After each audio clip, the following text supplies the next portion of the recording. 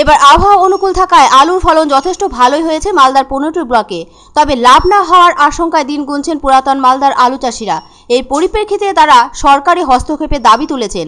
তবে মালদার সবকটি ব্লকের মধ্যে সবচেয়ে বেশি পরিমাণে আলু চাষ হয় পুরাতন মালদার মহিষবাথানি অঞ্চলে। প্রকৃতির খামখেয়ালি মনোভাবের জন্য গত দুবছর চাষ করে কঠিন অবস্থায় পড়তে হয়েছিল আর্থিক ক্ষতির কারণে। আসলে প্রবল বৃষ্টিতে পচে গিয়েছিল আলু চাষের মাঠেই। কিন্তু এবার পরিবেশ যথার্থ অনুকূল আবহাওয়া থাকায় ফলন ভালো হয়েছে। এই মুহূর্তে জমি থেকে আলু তুলতে শুরু করে দিয়েছেন চাষিরা। তবে আলুর দরে মাথায় হাত পড়েছে তাদের। চাষিরা আশঙ্কা করছেন আলুর দাম আরও কমে যেতে পারে। যদি সেটা হয়, তাহলে না খেয়ে জীবন যন্ত্রণায় পড়তে হবে তাদের। মহিষবাথানি এলাকার আলু চাষিদের অনেকের নিজের জমি থাকলেও কেউ কেউ ঋণ নিয়ে চাষ করেছেন। অনেকে আবার ঋণের জমি লিজ নিয়েও চাষ করেন। আলুর দাম ঠিকঠাক না পেলে তাদের সমস্যা আরও বেশি। আলু চাষি প্রণতি রাজবংশী বলেন, সবেমাত্র আলু তুলতে শুরু করেছি, পাইকাররাও আসতে শুরু করেছে, আর এসেই আলুর দাম পাঁচশো টাকা কুইন্টাল বলছে। কিন্তু ওই দামে আলু বিক্রি করলে চাষের খরচই উঠবে না। কারণ হিসেবে প্রণতি দেবী বলেন, এবার আলু চাষের জন্য এক বস্তা রাসায়নিক সার কিনতে দু হাজার টাকা দাম লেগেছে।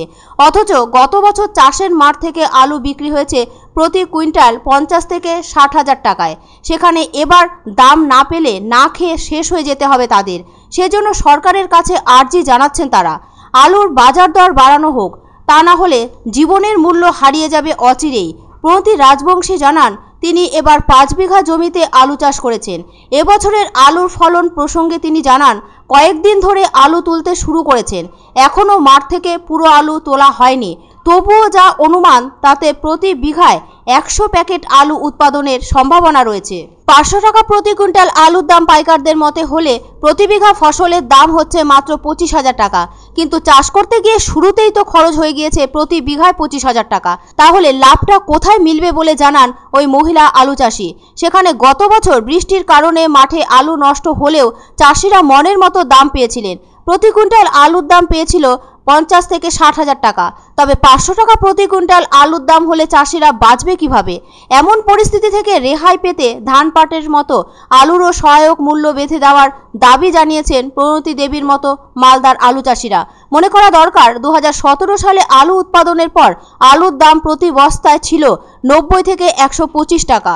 সেই হিসেবে কেজি প্রতি দাম ছিল দু টাকা। অথচ ওই বছরেও আলু চাষের বিঘা প্রতি খরচ পড়েছিল কুড়ি হাজার। ফলে দারুণ ক্ষতির মুখে পড়েছিলেন চাষিরা। একটি পরিসংখ্যান থেকে জানা যায় দু হাজার ষোলো সালে বিঘা প্রতি ফলন হয়েছিল পঞ্চাশ থেকে ষাট বস্তা আলু।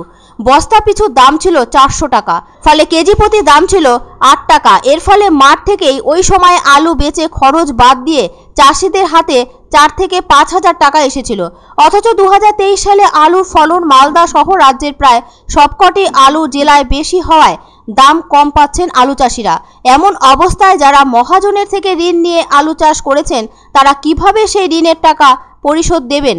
সেটাই এখন যেন লাখ টাকার প্রশ্ন মালদার আলু চাষিদের কাছে। এখন পাঁচশো টাকা কুইন্টাল চলছে। যা পরিস্থিতি পুঁজিটা উঠে আসবে না মনে হচ্ছে। সাতাশ থেকে আট হাজার টাকা খরচ বিঘায় পড়তে। আর একশো হলে পঁচিশ হলে তোর এখন পাঁচশো করে হলে আড়াইশো টাকা প্যাকেট পড়ছে।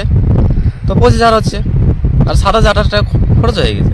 এখন যেটা রেট চলছে সেটা তো পুঁজিও আসছে না আমাদের। যা বিঘায় একশো প্যাকেটে পাঁচশো টাকা তার মানে পঁচিশ হাজার টাকা। পঁচিশ হাজার টাকা তো আমাদের জমিতেই কেটে গেছে। তখনই, তখনকার বাজারে। লাগার সময়ে একটা সারের বস্তার দাম দু হাজার টাকা করে নিয়েছি। আমরা তো দাম চাইছি।